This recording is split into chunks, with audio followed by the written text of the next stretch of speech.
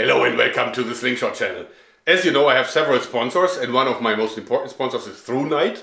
And actually, these guys are so generous, they sent me everything, everything I'm asking for. So I was asking them for a whole bunch of this great T01 flashlight. I love the T01 because it's so straightforward. It only has one mode and that is super bright 120 lumen. I mean, it's really, really bright. I'm not sure if you can see this good in the camera, but for a flashlight so small, it's actually amazing. And it's operated by a single AAA battery. That's it. Of course, you can also use rechargeables.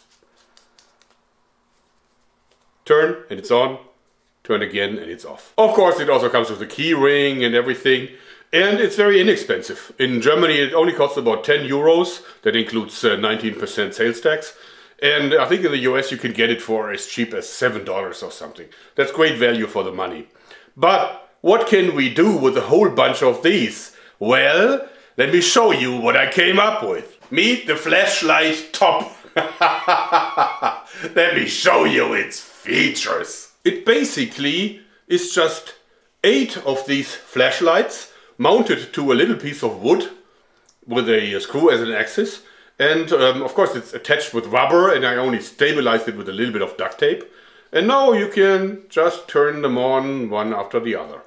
Like that. Until they are all nice and shiny. Alright, now it's only illuminated by the rotating flashlight. Quite spooky, don't you think? it's actually brighter in real life than it looks like in camera, I think. And if you start to turn it, I think it looks a little bit like a UFO. or a disco light. And you can also use this as a top, of course. It's that well balanced. Quite cool.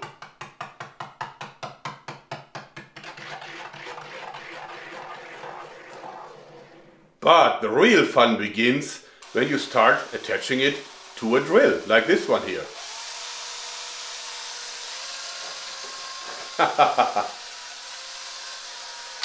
now the interesting thing is that when you start turning it looks a little bit like a strobe light.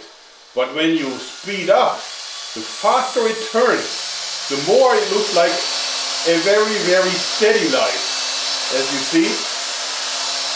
And this is now about 60 hertz. And at 60 hertz the human eye doesn't see any strobe effect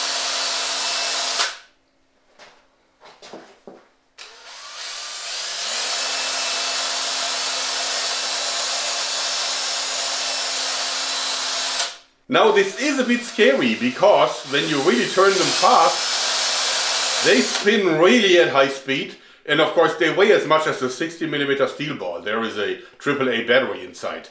So if they fly off, that can be really dangerous. I love it! now of course my idea is to build this in big size. Like with a big, big, big searchlight or maybe better a floodlight and use it outside to really illuminate everything around you. Some of the lights that ThruNite sells will go as far as two miles. And that could be an amazing torchlight, more like a rotating beacon. Maybe I should build it, but it will be dangerous.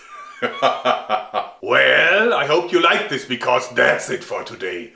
Thanks and bye bye.